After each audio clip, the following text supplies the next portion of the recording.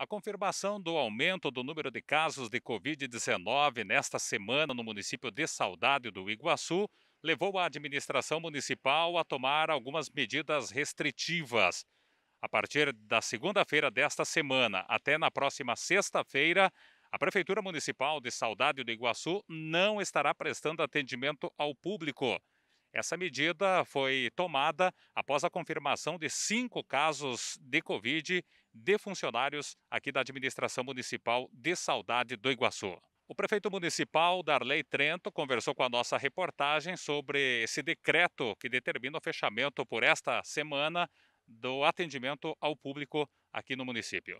É, Marcos, tivemos então um aumento é, bem considerável nesse final de semana aqui no nosso município de casos né, positivando, aonde aqui dentro, né, na prefeitura, no meu quadro administrativo, é, estamos com cinco funcionários positivados e um suspeito. Então, essa medida eu tomei hoje, a partir da manhã, né, para prevenir e até é, ter mais cuidado ainda né, com a nossa população. Então, está restrito durante essa semana, até sexta-feira, o atendimento ao público, onde a gente está trabalhando só internamente aqui durante essa semana. Prefeito, essa medida, o prefeito falou até sexta-feira. A partir da segunda-feira da, da, próxima semana, é, deve retornar o atendimento para o público aqui na prefeitura?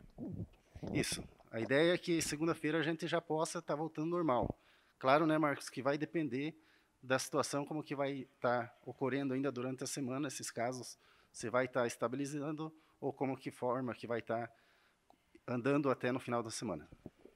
Prefeito, uma outra, além dessa medida, né, que foi justamente é, devido ao número de casos aqui né, no quadro de funcionários da prefeitura, né, cinco positivados, a administração também está, o Comitê Municipal de Combate ao Covid, está né, tomando outras medidas também, justamente para conter no contexto do município também, né? Isso. Nós temos até uma reunião com o nosso comitê municipal, onde a gente vai estar tá tomando mais decisões e decisões mais firmes, né? Voltando o toque de recolher e junto a gente vai estar tá analisando e vendo o que a gente vai estar tá podendo fazer para que esses casos não venham a diminuir. Perfeito. É importante sempre estar destacando e chamando a população né, para a conscientização dos cuidados que devem se tomar. Né? É, nós temos muitos municípios que estão em situação bastante complicada com relação ao número de casos, e agora que Saudade do Iguaçu também né, desperta essa preocupação, mas é fundamental o cuidado, a conscientização das pessoas. Né? Isso. É muito preocupante para a gente que está né, de frente aqui, junto com a saúde, e eu venho aqui fazer um pedido a nossa população, vamos ter mais cuidado, vamos nos cuidar. É momento de a gente ter mais consciência, né? Vamos ter mais cuidado, vamos usar o álcool gel, usar as máscaras, é, as limitações, aglomerações. A gente pede isso porque a gente está vendo aí tantas pessoas perdendo vida, né? Não é só aqui em Saudade, é uma questão é, de estado, de país, é de mundo.